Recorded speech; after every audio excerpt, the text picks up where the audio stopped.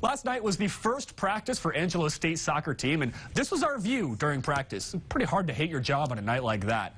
But the, the Belles had a better view at the end of last season. They were at the top looking down at the rest of the Lone Star Conference. And with a bigger conference to compete against this year, a repeat won't be as easy. 22 underclassmen, 11 of those freshmen, are part of a young core for Travis McCorkle that hit the pitch last night to prepare for the 2019 season.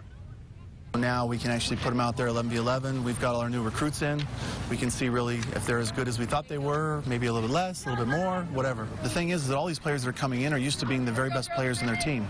So now they got to come in and kind of not start over, but they're not starting where they left off from high school and club. And so for some of them, it's a little bit of an adjustment period. Our sophomores have been able to step up, and it's been like they're upperclassmen as well, so that's helped. But it's kind of hard getting these new players to be on the same level as the sophomores, juniors, and seniors, but we're getting there.